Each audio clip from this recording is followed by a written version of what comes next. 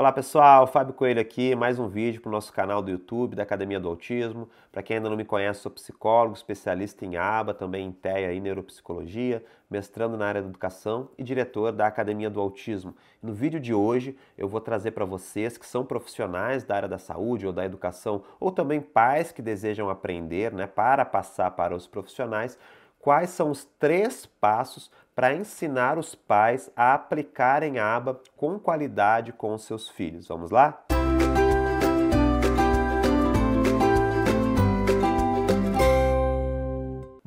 Esses três passos estão baseados nos treinamentos de pais, que é uma metodologia também da sigla BST, que tem larga evidências para as pessoas com TEA e que deve ser implementado em todos os programas de análise do comportamento, os programas ABA para a intervenção com TEA.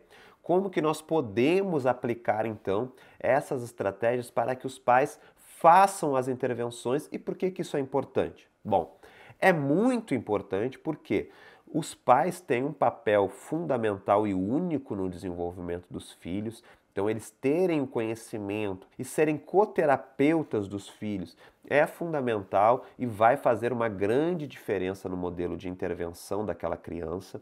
Também porque muitas crianças aqui no país ainda não têm o trabalho apropriado de intervenção, com a carga horária desejada de intervenção, e os pais então precisam, além de ser pais, aplicar também os ensinos dessa criança, né? É orientado ali por um coordenador, um supervisor em aba.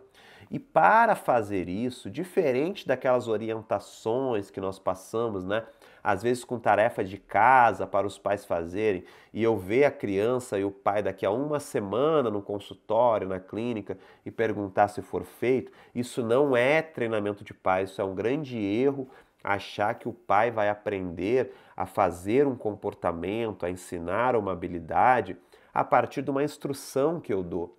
Eu parto do pressuposto que a mãe, o pai sabe exatamente o que tem que fazer eu não verifico, eu não vejo, então isso não vai funcionar. Funciona em pequenos casos, quando os pais estudam e conseguem fazer cursos com pegadas práticas, o que não é a grande realidade, né? Até porque nós precisamos mostrar para o pai aquilo que ele precisa fazer com o seu filho, é individualizado o ensino. E para garantir então a eficácia desse treinamento, nós precisamos colocar em prática pelo menos esses três passos. O primeiro deles, sim, a orientação, o conhecimento teórico. Os pais precisam ter acesso ao programa do filho, precisam saber quais são os objetivos que nós desejamos alcançar com o filho, também tomar ciência e consentir esses objetivos, precisam a partir disso ler os programas que foram escritos, planejados para alcançar esses objetivos, né? E ter conhecimento sobre análise do comportamento, com cursos de pelo menos 40, 60 horas, né? Nós aqui da Academia do Autismo, por exemplo, temos um curso online para pais. Vou deixar aqui na descrição para quem quiser saber um pouquinho mais. É muito importante, então, o conhecimento teórico, leitura de livros, cursos e o conhecimento sobre o caso em si, que aí sim o coordenador, o responsável pelo caso, vai passar pelos pais. Mas não pode parar aí. Nós precisamos avançar mais dois passos, pelo menos, para garantir que o pai vai conseguir fazer adequadamente o ensino com seu filho. O segundo passo do treinamento de pais é eu mostrar, eu enquanto profissional, terapeuta, mostrar para o pai como que deve ser feito aquele ensino, né? Qual é a forma correta de ensinar? Imagina que eu estou ensinando para a criança comportamento imitativo, né? Eu quero ensinar a criança a imitar, né? Movimentos simples ou imitar com brinquedos, né? Com objetos, né? Ela dá comidinha para a boneca e, e, eu dou comidinha para a boneca e ela dá também. Eu coloco um carrinho na garagem e ela tem que colocar também. Eu boto uma bola num balde e ela tem que colocar também. Então ela está imitando com brinquedos, né? Com objetos. E eu quero ensinar um pai, uma mãe a fazer isso, porque eu sei que só uma hora, duas horas de sessão por semana, eu ensinando uma habilidade imitativa para a criança, que é uma habilidade que precisa de uma consistência muito grande, não vai ser um ensino apropriado. Eu não vou alcançar os meus objetivos se não tiver a consistência do trabalho diário. Como que nós vamos fazer isso? Então eu mostro para o pai para a mãe, né, para o responsável, como que eu faço. Então eu falo para pai e mãe, olha, veja como que eu ensino então a imitação para o seu filho. Pode ver, tá? Aí eu mostro. Depois eu ainda pergunto, né? E aí ficou alguma dúvida? Ó, vou mostrar de novo. Aí eu mostro novamente como que esse é ensino, como que é feito esse ensino. Tiro as dúvidas do pai e da mãe, né? Isso pode ser feito é, em loco ali ao vivo, né? Ou por vídeo, né? Se eu não tenho muito acesso ao pai ou à mãe, ou está distante, ou eu não posso não tem o outro horário para eu fazer isso com a criança, ou o pai ou a mãe não pode ficar ali no consultório, eu posso então filmar dentro da sessão, né, com a criança e mostrar o vídeo para a mãe e tirar as dúvidas ali por videoconferência, tá? Depois disso, eu me certifiquei de que eu dei o modelo, a família tirou as dúvidas sobre o modelo que eu dei para eles, né? Eu me certifiquei de que o segundo passo foi alcançado.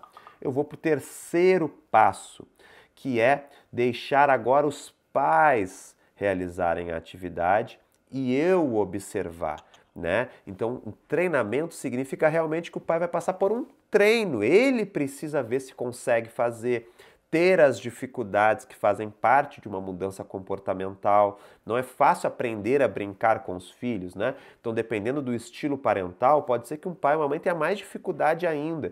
É, pode ser que ele tenha uma facilidade maior, mas na hora de é, refinar esse aprendizado para ser mais discreto, para um determinado tipo de suporte, tem um pouco mais de dificuldade, dando suporte maior, fazendo pela criança, prejudicando a autonomia, ou dando menos suporte, a criança acaba se frustrando porque erra muito né, ao tentar brincar. Então, achar o momento certo e modelar o repertório dos pais só pode ser feito fazendo, né? E aí precisa deixar o pai fazer enquanto eu observo, os pais podem fazer em casa também, filmar e me enviar, mas principalmente num primeiro momento é muito importante que isso seja feito ali, ao vivo. O pai fazendo, eu deixo ele fazer e vou dando os feedbacks. Feedback de elogio, parabenizando pelos acertos, afinal, modificação de comportamento se faz pelo reforço, né? Então eu vou elogiando, vou parabenizando, mostrando o que está certo e dando os feedbacks que precisam de correções,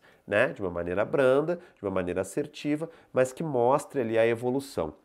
Se eu perceber que ainda não tá legal, peço novamente para fazer, né? E aí sim, né? O pai, ele recebeu orientação teórica, o pai viu eu fazendo, ou seja, teve o modelo, e o pai fez e recebeu os feedbacks. Aí sim eu posso dizer que esse pai recebeu um treinamento de pais. Ele sabe como ensinar o filho a imitar, o ensinar o filho a pedir, ensinar o filho a seguir uma instrução, a brincar com sentido, a iniciar uma socialização e vários outros objetivos que estão planejados para o filho ou filha dele ou dela. Espero que tenha ficado claro para vocês, gente, os três passos então para um treinamento de pais em aba. Se você é profissional da saúde, da educação, atende crianças com TEA, utilize esses três passos. Se você é pai ou mãe e está se sentindo distante da intervenção do seu filho, os terapeutas não te chamam, nunca te orientaram, nunca fizeram isso com você, cobre deles, porque vocês precisam saber o que fazer com o filho de vocês